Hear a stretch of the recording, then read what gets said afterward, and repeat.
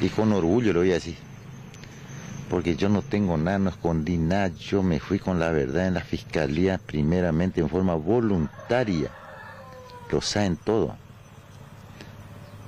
No sé qué pasó que ordenaba mi atención. No me puedo explicar, no sé qué pasó. ¿Cómo fueron eh, sus días eh, detenidos, eh, Méndez? Mal, no le deseo a nadie. A nadie le deseo que esté detenido en, un- en una cárcel federal. A nadie. Yo estoy, pasé días de mierda, bro. Mal, mal. Cinco días no comí. No me bañaba. Hacía nada. Amado, ¿a usted lo, lo vinculan con Walter Maciel, por ello su detención? Todo lo que quieran decir la gente tiene expresión de libertad, pueden decir lo que quieren, pero yo tengo la verdad, yo no me junto con nadie en el pueblo. Yo no comparto un asado con nadie.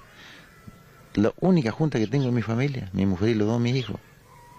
No tengo confianza en nadie yo, ¿Ni siquiera en Maciel? pero mucho menos, nada, nada, nada. Con Maciel no tengo nada, nada. Que averigüen, que averigüen antes de hablar. Al- no sé, mis teléfonos me secuestraron, allá me detuvieron. Amanecieron custodiando mi casa. Ahora los teléfonos, yo no tengo nada que esconder. ¿Es inocente Méndez? Totalmente, totalmente. Porque si yo me considero que no soy inocente, no voy a estar en mi casa.